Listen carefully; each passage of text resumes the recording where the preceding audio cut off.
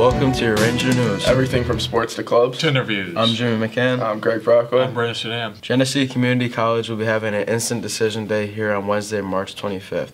An admissions counselor will be here to review students' applications and give them an admission admissions decision. Students may also receive help completing the applications or receiving information about the college. There are a limited number of time slots, so students will need to sign up no later than March 16th in the counseling office. The deadline to apply for the Monroe County Sheriff's Office Teen Police Academy is fast approaching. Applications will be accepted in the counseling office until Friday, March 6th. Applications can be picked up in the counseling office. The next GSA meeting will be tomorrow, Wednesday, March 4th, during activity period in room 401. Please bring $2 if you can. We will be discussing an upcoming activity. All are welcome.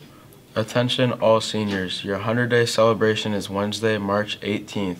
Please be in the East Gym no later than 7:10 a.m. Your 100 day picture will be taken promptly at 7:15. A Jostens representative will be there to give you information and order forms for your cap and gown. Orders will be taken the following week on Tuesday, March 24th and Wednesday, March 25th during all three lunches in front of the cafeteria. If you have any questions, please see Ms. Hill in the main office. Interested in traveling to Spain and Italy? Senor Montañez will be having an informational meeting for Spain and Italy 2021 summer trip tomorrow, Wednesday, March 4th, during activity period in room 504. Attention all students in Spanish Club. Come join us make Spanish food. We will be having a meeting on Thursday, March 5th in room 504 during activity period. Those 9th or 10th graders interested in traveling to Costa Rica, please have a parent or guardian attend one of the two info nights. They are on March 9th and March 11th from 6 to 7 p.m. in room 417. This week we will have student info meetings during activity period in room 417 on March 5th and 6th. The health office has created a wall space where we would like staff and students to be able to hang photos of their pets. We are calling it the Ruby and Mickey's Wall after our school's two support animals and is located just outside the health office.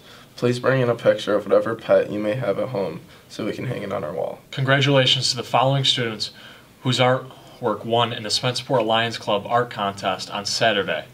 First prize, Ella Genovese. Second prize, Mark Frank. Honorable mention, Daisy Falmer, Samantha Ricotta, and Stella Shortino.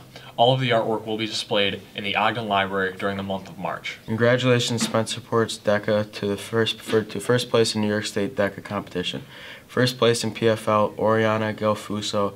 First place in food marketing, Baron Rissenthaler.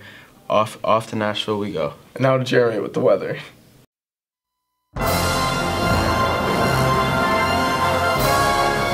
Good morning, everyone. Today's high is forecasted to be near 48 degrees. There is a special weather statement in effect this morning for dense fog.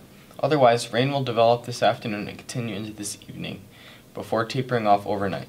The lows overnight will be in the middle 30s. Tomorrow will be cooler in the middle 40s and a pleasant day with somewhat thick cloud cover. Friday features a clipper system for Canada, bringing snow. Early amounts look to be in the 2 to 4 inch range. Winds will also be an issue. More on that and another potential storm next week will come on Thursday. Until then, stay tuned and have a weather-tastic day. Now, back to the Ranger News Desk.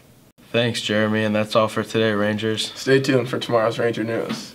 And remember, it's nice to be important, but it's more important to be nice.